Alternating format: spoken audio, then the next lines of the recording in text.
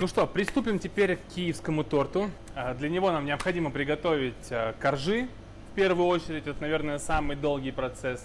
А, заварку на масляный крем шарлот. И все. Больше нам ничего не надо, очень простой торт. На самом деле, я очень люблю его готовить. Единственное, что, что много очень времени уходит на коржи. Ну, не столько на участие в приготовлении коржей, сколько процесс их выпечки. А, итак, но в то же время все очень просто, и давайте сейчас мы с вами быстренько все и сделаем. Значит, первым делом мы берем белок,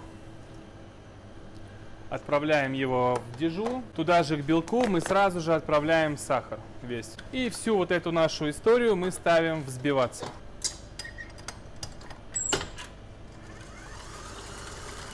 А, пока наш э, белок для нашего безе киевского взбивается, мы подготовим орехи. Я использую здесь миндаль, но вы можете взять любые орехи, которые вам нравятся. Там грецкий, кешью, арахис, все что угодно, все, что вам только хочется. А, но мы будем использовать миндаль. Нам нужно его подробить. Для этого мы возьмем вакуумный пакет ну и я просто так сделаю, да. Вы можете делать как вам удобно. Насыпаем сюда миндаль.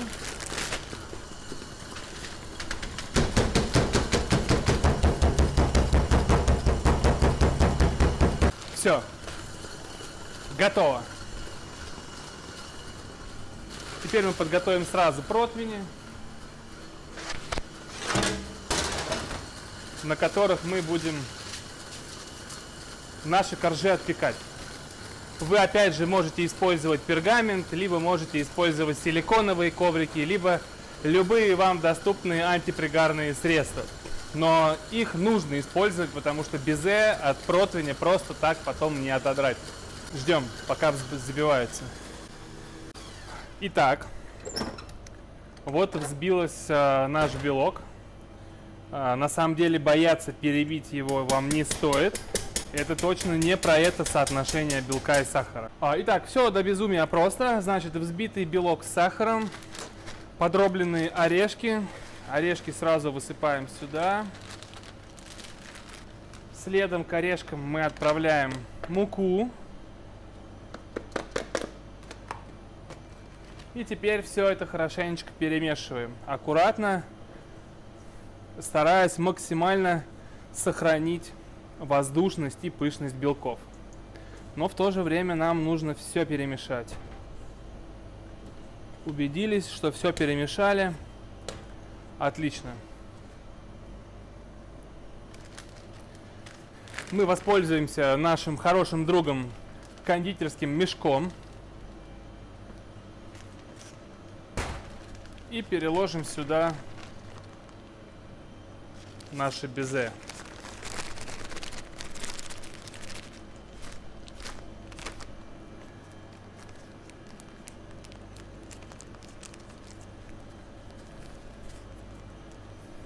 Теперь нам нужно эти бисквиты, ну как бисквиты, будущие меренги выложить.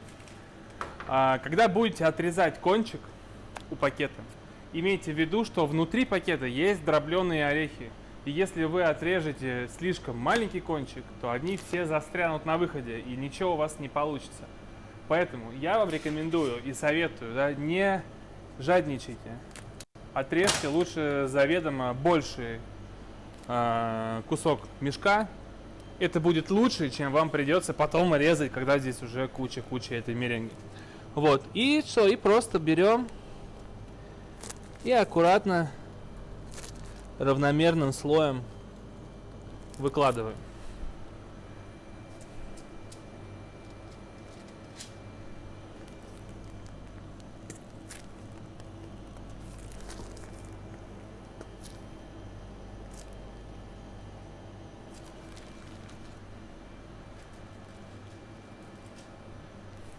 И теперь я вам рекомендую разровнять. Легонечко, не нарушая геометрию, которую мы только что с помощью кольца создали себе. Просто разровнять, чтобы оно хотя бы равномерно все сохло и пропекалось. Потому что печься эта вся история будет долго. где-то около двух часов. Это не шутки. Мы ставим температуру 130-150 и где-то порядка двух часов, час 40 точно, а, наши безешечки будут стоять, сушиться в печи. Сушиться наши коржи будут при э, вентиляции, при включенной конвекции. И если вы будете использовать так же, как я, пергамент, то от конвекции он может там весь э, развиваться и в итоге налипнет не там, куда нам надо. Для того, чтобы этого не происходило, мы, как настоящие профессионалы, положим здесь ложечку. Все. Теперь мы точно уверены, что никакая конвекция нам ничего не повредит. Все, ставим в печь.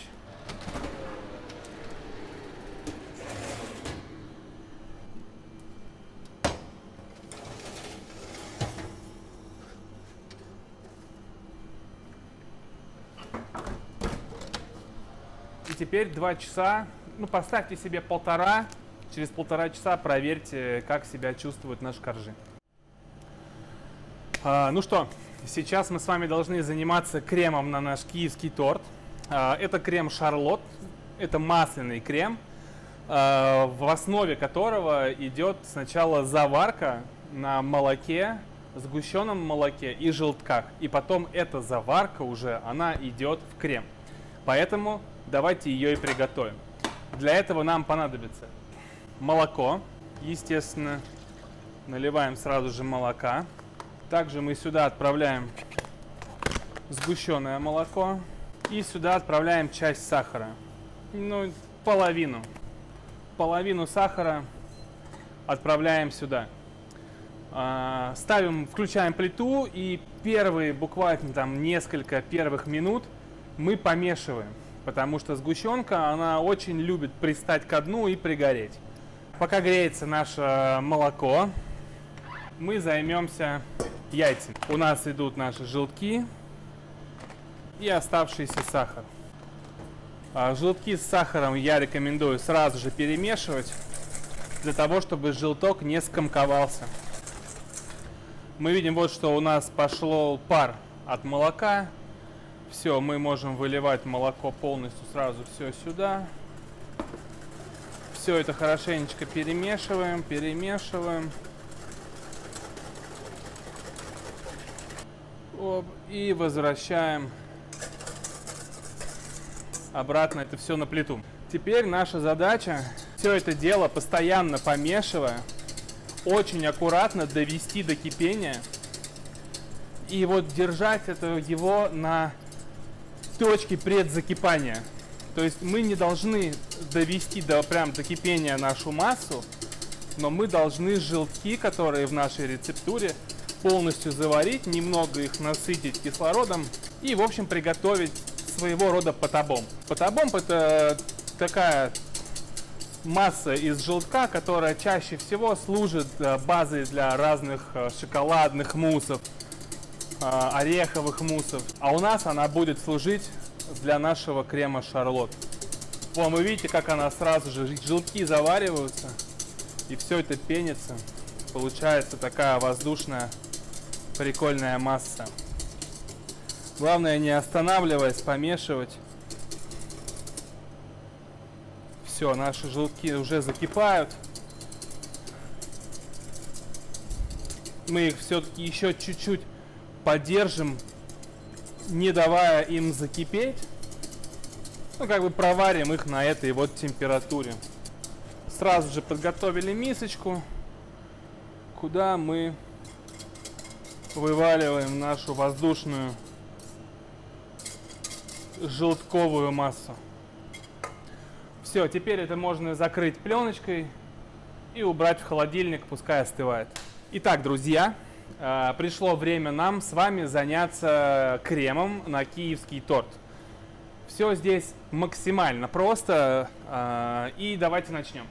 Значит, первым делом нам понадобится сливочное масло. Сливочное масло я достал предварительно э, из холодильника для того, чтобы оно стало таким помадообразным состоянием. Это очень важно, потому что нам сейчас предстоит это масло взбивать, взбивать его венчиком, И масло только что достатое из холодильника, взбивать венчиком будет стоить вам венчика. Не советую экспериментировать. Я уже так делал и рассказываю вам, что это будет вам стоить венчика. Так, мы это маслечко сюда аккуратненько оп, вываливаем. Небольшой вам шефский лайфхак. Как собрать все масло и ставим его взбиваться.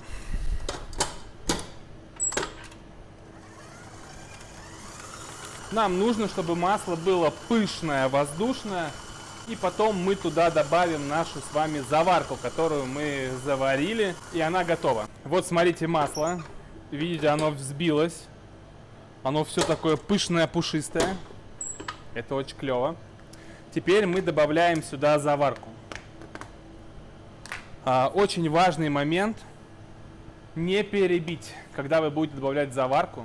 То есть это нужно взбить, подвзбить, но очень аккуратно, потому что ну, это все может расслоиться, отсечься вообще вот так вот, на как нечего делать. У нас теплое взбитое масло, у нас холодная заварка, жиры и там, и там, здесь есть вода. Начнется все это дело смешиваться, не успеет произойти эмульсификация – приехали, крем можно будет в принципе выбрасывать, но если вдруг мы дойдем до того момента, что у нас все перебьется, я вам покажу, ну и если не дойдем, то просто расскажу, как же можно и выйти из этой ситуации. А, итак, в общем, мы взбили масло, мы берем всю заварку, которую сварили, и отправляем сюда. И теперь наша задача все это дело аккуратненько подвзбить.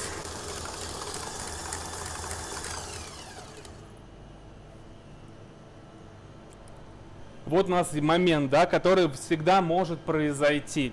Сейчас произошел небольшой термический шок у масла. И вот как вы можете посмотреть, масло у нас начинает превращаться в такие гранулы.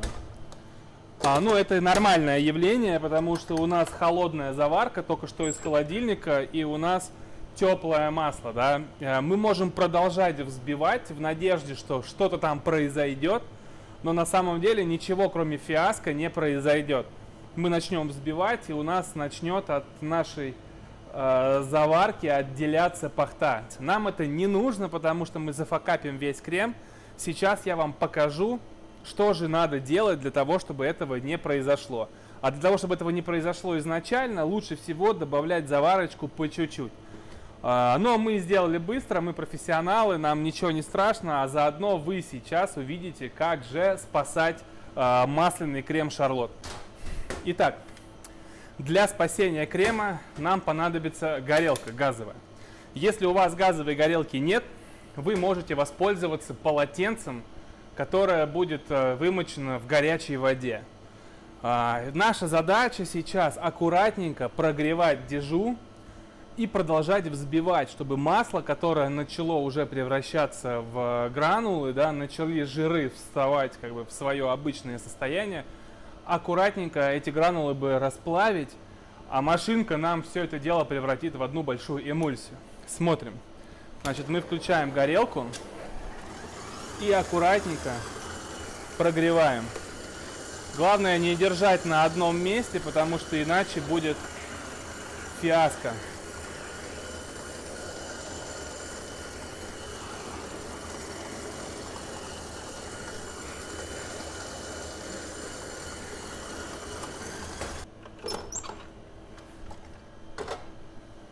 И вот на выходе мы получаем идеально гладкий крем, без каких бы то там ни было кусочков масла, либо чего бы то там, что бы то еще. Да, все, у нас замечательный крем. В принципе, да, процесс спасения, он очень простой. Главное, мы его быстро должны прогреть, чтобы масло быстро растопилось, и оно бы быстро все смешалось. Если мы продолжим взбивать дальше, то у нас как бы отделится пахта, и здесь мы уже не сделаем ничего абсолютно. Поэтому есть у вас какой-то там шанс, возможность исправить какой-то косячок, да, который в процессе происходит. Но опять же, во всем нужно знать меру. будьте аккуратны, перебитый крем восстановить уже нереально. Если пахта отделилась и у вас масло плавает, все приплыли. Итак, все, вот наш а, масляный крем Шарлот восхитительный. Просто супер-пупер. Добавляем сюда какао. Еще сюда хорошо добавить немножко коньячок. Коньячок сюда будет очень кстати. Все, и перемешиваем какао с нашим кремом. Все, удостоверились, что мы хорошенечко все перемешали. Теперь мы перебазируем наш крем, как всегда, в кондитерский мешок.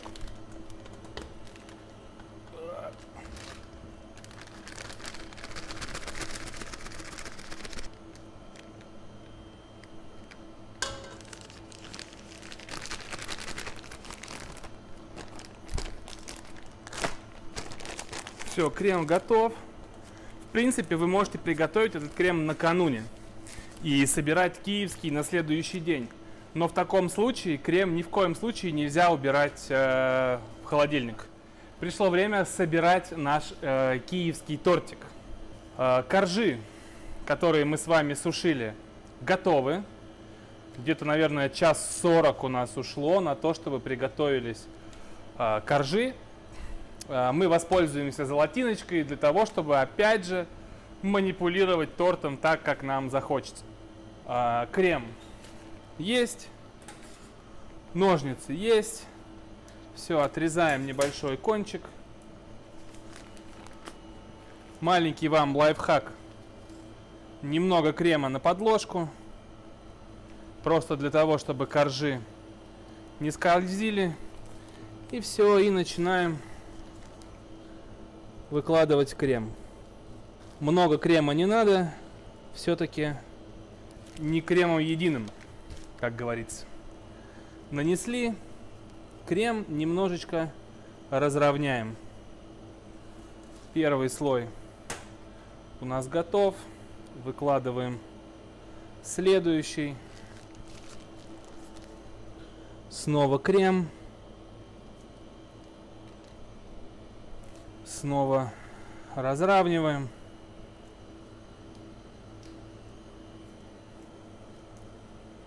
Разровняли. И теперь последний корж. Я его положу вверх ногами, для того, чтобы у меня дно, которое у этого коржа, оно бы сформировало ровный торт. И теперь нам нужно этот торт весь обмазать кремом немножко сюда, немножко по бокам. Так. И выравниваем наш торт.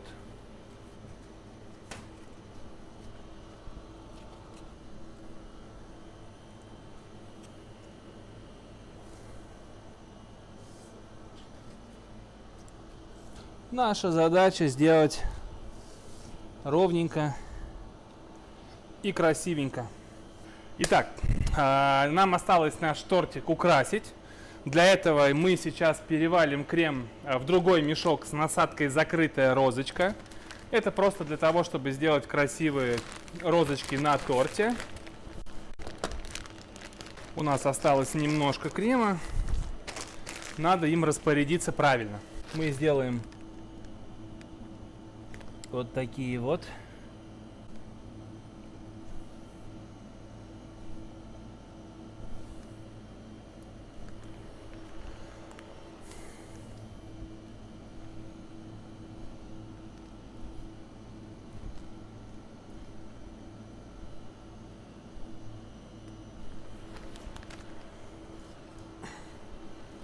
Теперь берем наш крем, укрываем наш торт дробленым миндалем, таким же, который у нас, собственно, и в безе. Это будет очень-очень клево и очень-очень кстати. И серединку я предлагаю тоже засыпать миндалем.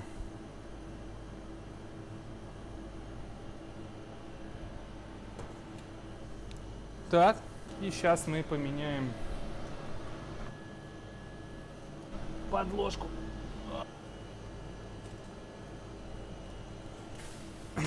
Все.